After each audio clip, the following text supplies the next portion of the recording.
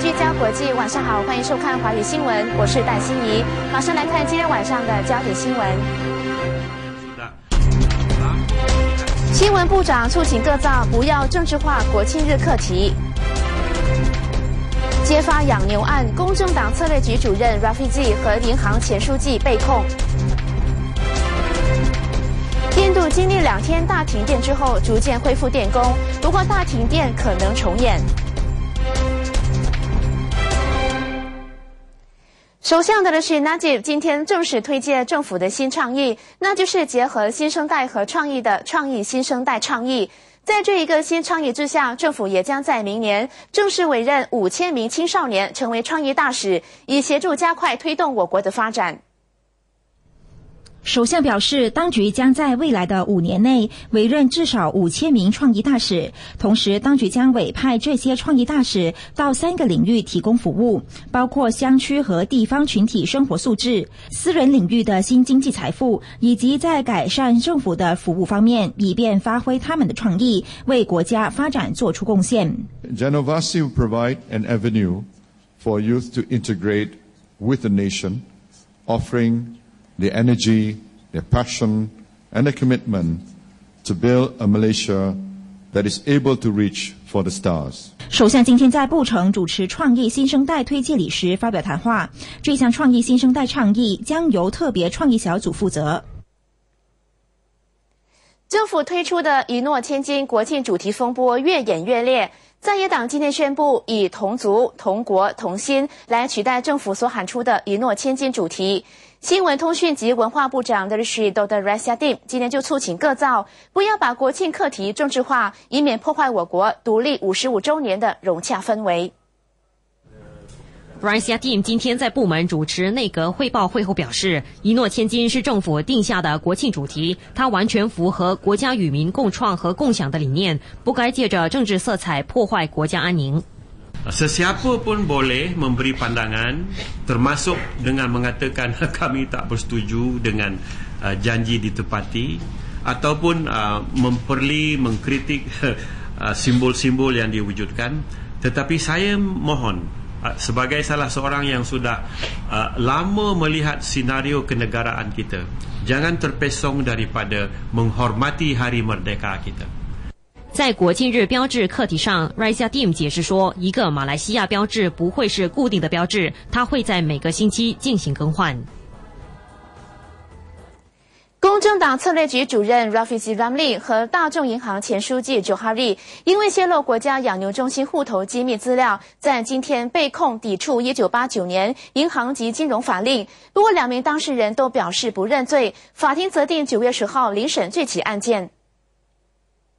揭发国家养牛中心丑闻的公正党策略主任 Rafizi 今天早上在沙安南地庭面控，他被指在三月七号在公正党总部向两名记者泄露国家养牛公司、国家肉类与牲畜有限公司、农科工业私人有限公司和穆罕默萨利在大众银行的账户资料，抵触一九八九年银行和金融机构法令第九十七条文。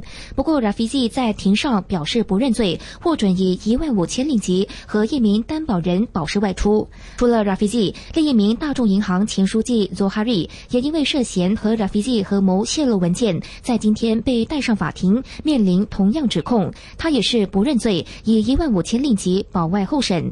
两人将在九月十号一起面审，一旦被定罪，他们将被判监禁不超过三年，或罚款三百万令吉，或两者兼施。关丹独中经历几番波折之后，终于获准设立。不过，为了确保这是一所真正的独中，董总连日来不断要求教育部公开批文。不过，教育部副部长的魏家祥博士至今还是坚决表示，他该说的在移交批文的时候都已经说了。至于教育部是否会公开批文，他则没有回应。表面上看起来，从五二零关丹申办独中大集会到关丹独中获得办校批文，整个过程只是短短两个月。但事实上，关丹华社等这所学校已经等了二十年。为了确保关丹独中的批文没有隐藏替代方案，包括董事部拥有考生考试决定权，而不是由政府限制，董总一再要求教育部公开关丹独中的批文内容。对此，魏家祥做出这样的回应。我要讲的话已经在移交的时候已经讲完了，我们必须尊重当地人办学，他要求是什么，然后我们根据你所提倡来的给予批准。就是这样简单。另外，作为复办独中工委会执行顾问的丹瑞方天星，在出席第八届全国华人青少年艺术节时，也一再强调，关丹独中不是变种独中。关丹独中绝对不是会的是一所变种的毒种。他还在记者会上意有所指的要求一些华团领袖不要再对关丹独中批文争论不休。我觉得我们呃不需要再以那个。批文那边一直谈论不休了，大家华社领袖领导了，最终来协助，呃，这所杜中早日落实了。啊，希望不要再在这个课题啊，再再议论，一直议论不休。而且呢，我们可以说见好就收了哦。另外，吉隆坡中华独中董事部将在两个星期内和关丹复办独中工委会开会后，向华社交代批文的内容。不过，会议不会邀请董总参与。而天黄翠贤采访报道。二零一零年，华总首次和公共服务局合作，协助政府招聘华裔公务员，获得热烈反应。八月五号，也就是来临的星期天，华总将会再度主办招聘活动。公共服务局定向目标，要招聘二百六十五人。到时候将会有多位政府高级官员前去现场，协助申请者上网填写表格，并且解答疑问。工工业关系关。次的招聘活动将在华总谢富年礼堂举行，时间是早上十点到下午三点。华总副业务总秘书陈耀新博士指出，这次要招聘的职位包括工业关系官员、助理工业关系官员、文化官员、关税助理和音乐家。申请成为公务员的条件包括 S P M 国文科必须优等，不过没有年龄限制。目前公共服务局处理公务员的申请需要花上三到六个月，甚至一年的时间。陈耀新促请政府加快处理速度，让申请者可以在最短的时间内知道自己是否被录取。所以华总这方面也有向这个公共服务员反映，就是说，如果你要吸引更加多华裔子弟来参与这个公务员活动的话。呃，你就要缩短这个申请的时间，尤其是他们要增聘人手和设备啊，这样才能有效解决这个等待的这个时间。陈耀新表示，其实很多华人愿意当公务员，因为公务员的福利相当不错。大学毕业生的基薪有两千七百令吉，还能够享有医疗服务、汽车和房屋贷款等等，而且升职机会也不比私人界逊色。有意申请成为公务员的人士，可以在八月五号携带文凭、履历表和身份证副本前往华总，或者是浏览公共服务委员会网页 www.spa.gov.my 查询详情。RTM 李志辉采访报道。马来西亚药剂师协会早前向政府提出收取咨询费的建议，已经获得卫生部同意。不过，民众在寻求药剂师服务后，到底应该支付多少费用，目前还没有定案。卫生部服务组今天发表文告表示，目前国内药剂师并没有像医生和牙医那样有一个规范的收费表。不过，政府认同药剂师在我国医疗保健领域扮演的角色，所以允许药剂师收费。不过，如果要允许收费，首先必须处理一些问题，包括制定一个合理的药物定价制度，统一药剂师所提供的服务，还要设立一个由政府和专业人员团队组成的监督制度。所以，收费问题还有待进一步的研究后才能够做出决定。古代有大富之家派粮食救济世人，现今有企业发放救济金造福社会。一起跟随前线视窗，探索何谓企业社会责任。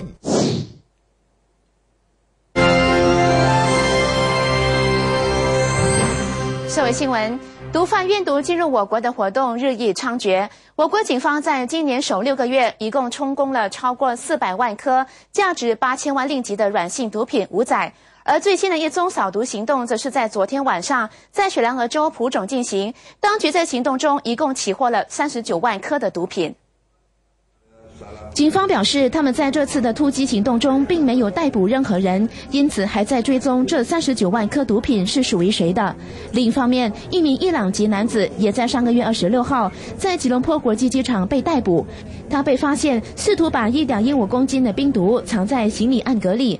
警方将援引一九五二年危险毒品法令第三十九 B 条文进行调查。一旦被判有罪，涉案者的唯一刑罚是死刑。啊 walaupun saya mengumumkan pengurangan daripada di dalam uh,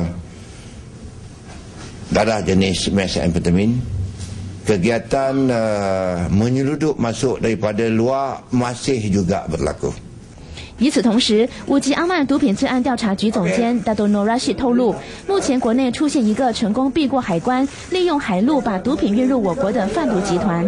由于警方所充公的五载数量暴增，因此警方将会把这种毒品列为主要打击目标。庭暴力事件不时在我国上演，在吉兰丹就有一名乌裔男子因为毒打妻子而遭受牢狱之灾。这名男子被控在今年五月蓄意用头盔殴打妻子，以致他身体多处受重伤。哥打巴鲁地庭今天就宣判被告罪名成立，被判入狱十五个月，外加鞭笞一下。现年二十六岁的被告穆罕默德·阿斯里·穆罕默今天出庭面控时，在地庭法官穆罕默德·法扎利·阿里·穆罕默·嘎扎利面前承认罪状。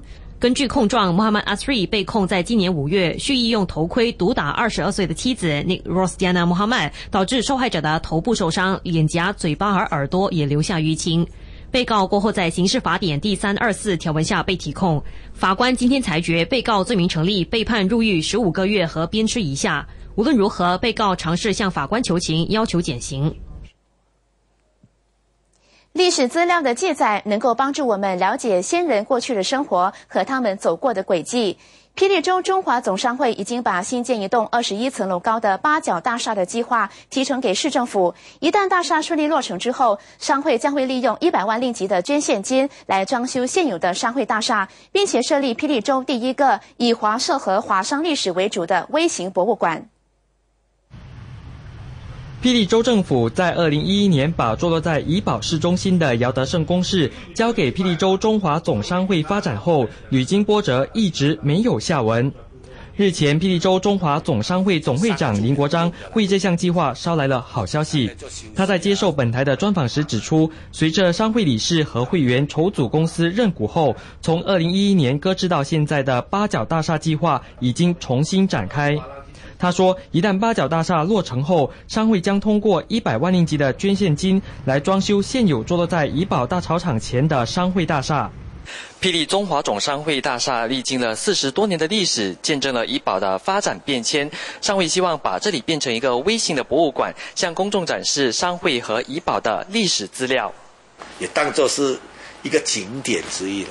这个是我有我们有在想做这方面的工作。”因为毕毕竟来讲，一个社团你这样做下来，我们有需要将我们前人或者是我们的先辈他们在这边的生活的东西，都有系统的记录起来。